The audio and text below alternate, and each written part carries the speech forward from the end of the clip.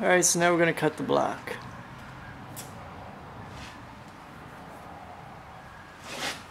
Ready? Yep.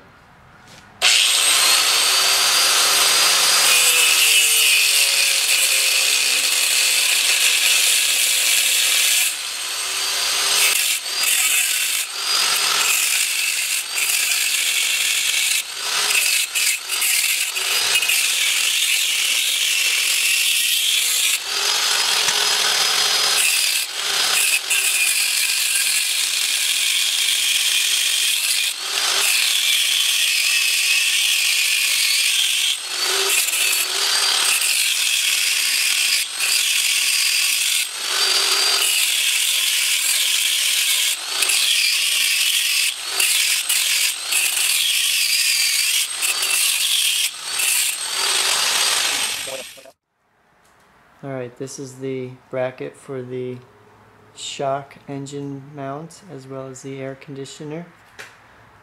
We've gone ahead and welded and ground down bolt head so it becomes a bracket for the air conditioner because we were missing a boss on the engine.